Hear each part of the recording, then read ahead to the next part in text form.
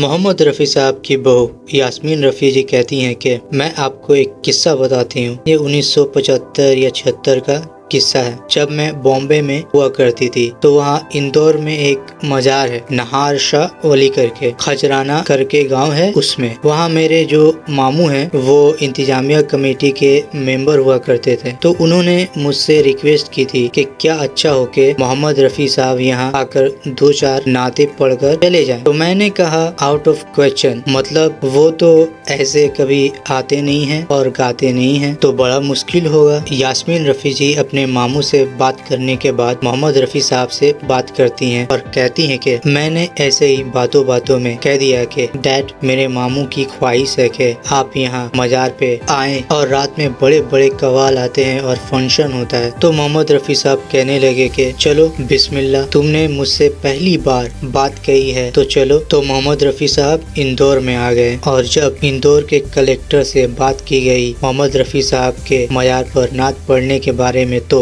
तो collector commissioner वहाँ की पुलिस सब आ गए और कहने लगे, आप लोग क्या बात कर रहे हैं? आप तो मोहम्मद रफ़ी साहब को ऐसे ले रहे हैं कि जैसे मोहम्मद रफ़ी साहब बहुत मामूली इंसान है कि आपने कह दिया और मोहम्मद रफ़ी साहब एक दो नात पढ़कर चले जाएँगे। ये खबर आग की तरह फैलेगी और कहाँ कहाँ से लोग यहाँ पर जमा हो जाएँगे और हमें इंतज़ाम करना मुश्किल हो जाएगा। यहाँ पे किस तरह से इंतज़ाम कर पाएँगे यहाँ पे? अगर आप पहले से इंतज़ाम कर करते तो बात अलग थी। हम तो आपको इजाज़त नहीं देंगे, क्योंकि ये बहुत रिस्क लेने वाली बात है। तो खैर, इजाज़त नहीं मिल सकी तो फिर मोहम्मद रफ़ी साहब घर में रात भर नाते और जो भी उनके गाने थे, जो घर वालों ने फरमाइश की, शामियाना लगा और सारे घर वालों की फरमाइश और ख्वाहिश जो थी, पूरी हो गई। शो कभी वो सुनना चाहते थे और कभी सुन नहीं पाए थे तो सबके दिल का जो अरमान था, वो उस दिन पूरा हो गया।